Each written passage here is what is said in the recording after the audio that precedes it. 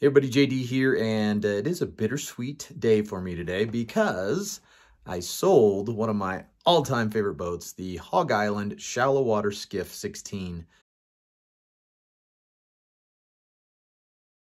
And it was just time. I, I don't have a whole lot of use for it up here at the lake, so it was time to pass it on to let somebody else have fun with it, but it's pretty sad.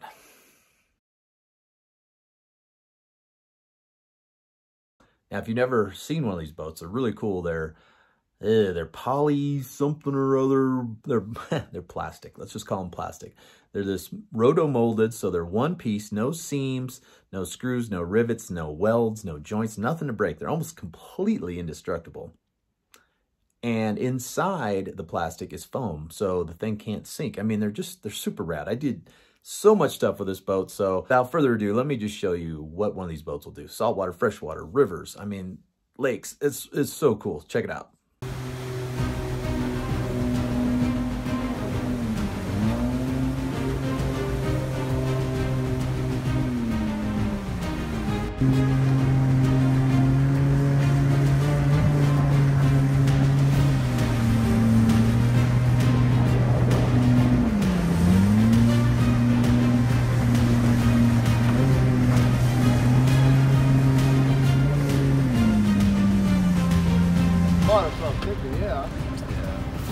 You're on real, real, real. Oh, that was a double waiting to happen. okay.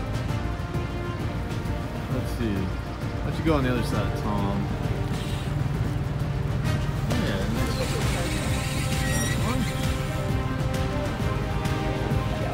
you get one? it is a double. Double, double. Nice. Two, one, and two. Okay, I better do something.